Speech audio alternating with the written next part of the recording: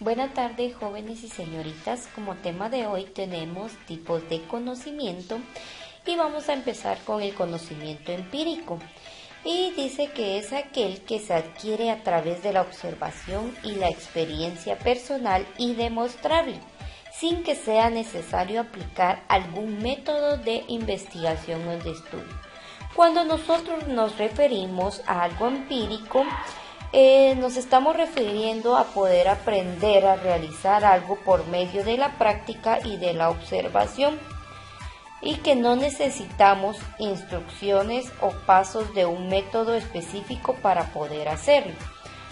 El conocimiento empírico eh, nosotros lo obtenemos debido a que formamos parte de una sociedad o una comunidad específica.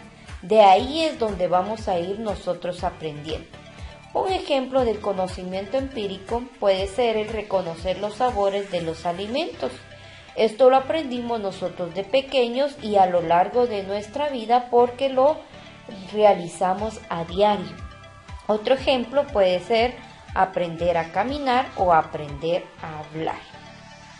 Ahora nos vamos a pasar nosotros al conocimiento científico y dice, dice que este se trata de un tipo de conocimiento que se caracteriza por presentar de manera lógica y organizada la información acerca de fenómenos demostrables.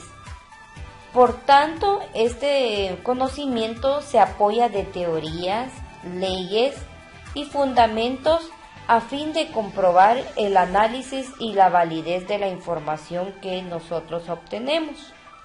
Un ejemplo del conocimiento científico es el descubrimiento del sistema solar, el conocimiento del ciclo del agua, el conocimiento de la tabla periódica. Todos estos conocimientos ya pasaron por eh, los pasos del método, método científico para que su información fuera válida. Sea que para el conocimiento científico nosotros lo tenemos que comprobar utilizando los pasos del método científico.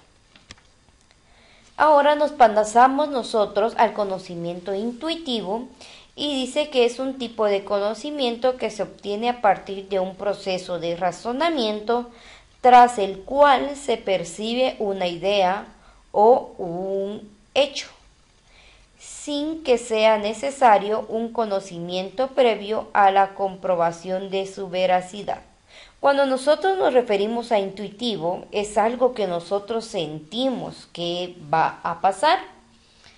Eh, la intuición nos permite percibir información de manera instantánea debido a la relación de la información, asociación de ideas o sensaciones que lleva a cabo cada individuo. Un ejemplo del conocimiento intuitivo es que podemos intuir nosotros que puede llover si vemos una gran acumulación de nubes en el cielo acompañadas de mucho viento. Entonces podemos intuir que va a llover, ¿sí? Porque eso nosotros lo hemos observado y podemos aplicarlo a nuestra intuición. Otro ejemplo de intuición es cuando nos levantamos y vemos que eh, hay bastante claridad. Entonces nosotros intuimos que durante ese día va a hacer mucho calor.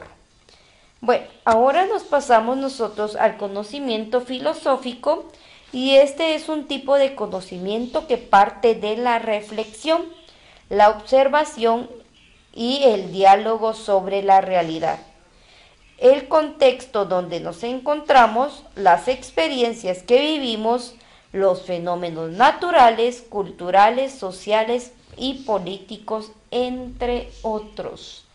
En el conocimiento filosófico no es necesario llegar a la experiencia, ya que su principal inquietud es explicar todo lo que nos rodea. Un ejemplo del tipo de conocimiento filosófico puede ser em, el estudio de la ética y de la moral, el estudio de las religiones, el estudio del comportamiento del ser humano, Recordemos nosotros que cuando mencionamos filosofía estamos hablando a todo el pensamiento relacionado con el ser humano. Bueno chicos, este ha sido el tema de los tipos de conocimiento.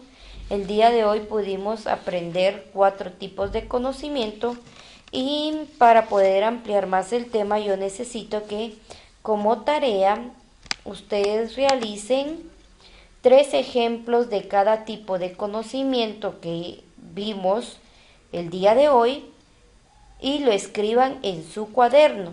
La tarea debe de realizarse y subirse a Classroom. Que tengan feliz día y nos vemos hasta el próximo tema.